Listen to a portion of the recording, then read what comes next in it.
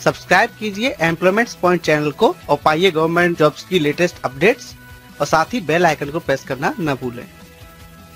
नमस्कार साथियों बहुत बहुत स्वागत है आपका एम्प्लॉयमेंट पॉइंट में। आज हम बात करने वाले हैं एक और रिक्रूटमेंट रैली के बारे में।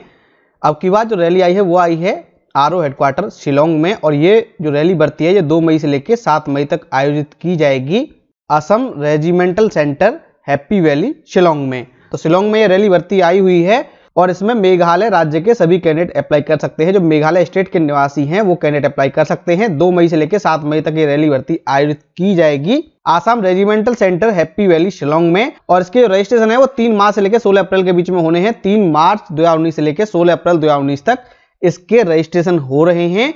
और इसके जो एडमिट कार्ड है, वो सत्रह अप्रैल से लेकर एक मई के बीच में आ जाएँगे। दो मई से लेकर सात मई तक आपकी रैली भर्ती होनी है और उन्हीं कैंडिडेट को एंट्री दी जाएगी जिन कैंडिडेट के पास एडमिट कार्ड होगा। इसमें जो वैकेंसी आई है, वो आई है सोल्जर जनरल ड्यूटी की, यानी सोल्जर जीडी की वैकेंसी आई है। इसके अलावा एनए की आई है सोल्जर टेक्निकल की आई है सोल्जर एस क्लर्क की आई है, इसके अलावा ट्रेड्समैन की आई है और ट्रेड्समैन एट्थ पास की वैकेंसी आई है। जीडी के लिए एज साढ़े सत्रह से लेकर इक्कीस साल है, बाकी के लिए साढ़े सत्रह से लेकर तेईस साल। यानी आपका जन्म एक अक्टूबर उन्नीस सौ अठानवे से लेकर दो हज़ार दो के बीच में हुआ होना चाहिए। जीडी के लिए बाकी के लिए है एक अक्टूबर उन्नीस तक माने एक अक्टूबर उन्नीस से लेके एक अप्रैल दो दो के बीच वाले कैंडिडेट अप्लाई कर सकते हैं। जीडी के लिए हाइट एक सेंटीमीटर, वहीं एनए और टेक्निकल के लिए एक सौ सत्तावन है। बाकी जो अन्य पोस्ट हैं एसकेटी क्लर्क की, इसके अलावा ट्रेड्समैन की, उनके लिए हाइट है एक सेंटीमीटर, वज़न कम से कम 48 किलोग्राम होना चाहिए।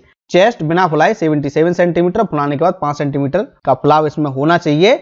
तो साथियों, ये थी जानकारी army recruiting office ARO Shillong ने जो भर्ती निकाली है, मेघालय राज्य के कैंडिडेट के लिए, उनके बारे में दो मई से लेकर सात मई तक इसकी रैली भर्ती होनी है। तो अगर आप मेघालय राज्य के निवासी हैं, आप इस भर्ती के लिए अप्लाई कर सकते हैं रैली भर्ती के लिए। साथियों, में उम्मीद है वीडियो आपको पसंद आया होगा। इस वीडियो को लाइक कीजिए शेयर कीजिए और अगर आपने अब तक हमारे चैनल को सब्सक्राइब नहीं किया है तो कर लीजिए, क्योंकि यहाँ मिलती है सही जानकारी बिल्कुल सरल भाषा में।